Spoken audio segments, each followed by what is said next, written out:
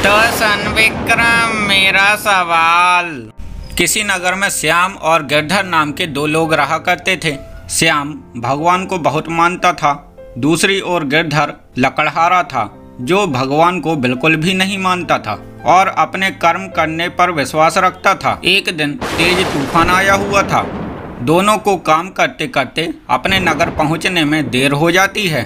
आसमान में बिजलियाँ कड़क रही होती हैं। उन्हें रास्ते में एक मंदिर नज़र आता है, जहाँ वे रुकने का फैसला लेते हैं। आधी रात तक भी तूफ़ान नहीं थमता, और दोनों को तेज भूख लगाती है। श्याम कहता है, भगवान पर विश्वास रखो। भगवान हमें कुछ ना तो कुछ खाने को दे ही देंगे।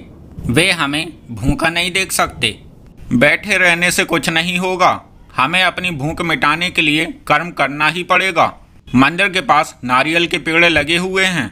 जिसे मैं लेने जा रहा हूँ, क्या तुम्हें तो भी नारियल लाना है? मुझे खाने के लिए मेरे भगवान कुछ ना तो कुछ दे ही देंगे। तुम अपने लिए ले आओ। फिर गिरधर उस नारियल के पेड़ के पास जाता है और पेड़ पर चढ़ने लगता है।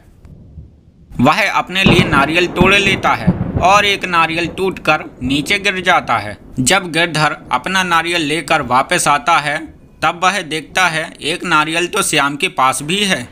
दोनों देर न करते हुए अपना अपना नारियल खाने लगते हैं। तो बता विक्रम, श्याम को बैठे बैठे नारियल मिल गया। क्या श्याम का गिरधर से कहना सही था?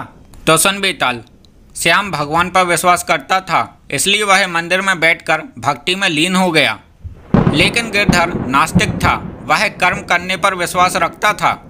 इसलिए वह बड़ी मेहनत से पेड़ पर चढ़कर अपने लिए नारियल तोड़ता है। और एक नारियल तोड़कर उस श्याम की ओर भी फेंक देता है। गिरधर जानता था, यदि वह श्याम को नारियल देगा तो वह नहीं लेगा और रात भर भूखे पेट रहेगा। इसलिए गिरधर ने एक नारियल उसकी ओर गिरा दिया, जिससे श्याम को यही लगे कि वह नारियल तो उसे उसके भगवान ने दिया है। और इस तरह से श्याम का भगवान पर विश्वास भी बना रहेगा।